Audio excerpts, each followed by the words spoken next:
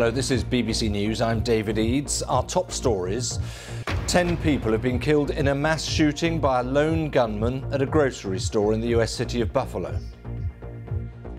We are investigating this incident as both a hate crime and a case of racially motivated violent extremism. The 18 year old suspect, who drove for a number of hours to reach the supermarket, has been taken into police custody. Took his the gun, he put it down. He did put something on his feet.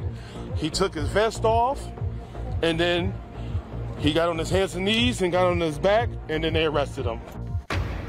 In Ukraine, the mayor of Kharkiv tells the BBC that Russian troops have withdrawn from the city, which has been under constant bombardment since the invasion began. Finland's president speaks to Vladimir Putin, saying he will apply for NATO membership within days. Mr. Putin calls the move a mistake. US pro choice supporters protest against across the country ahead of a Supreme Court decision that's expected to overturn the country's long established right to abortion. Thank you for supporting Ukraine.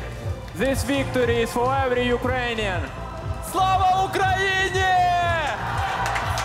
And Ukraine wins the Eurovision Song Contest. Favourites from the start, they won the public vote to take the title.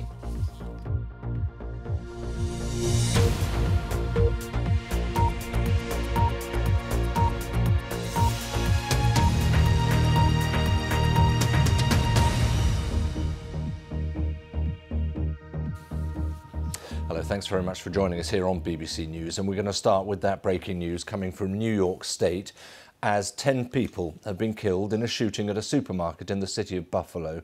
Three others have been injured. The FBI say they're investigating the incident as both a hate crime and a case of racially motivated violent extremism.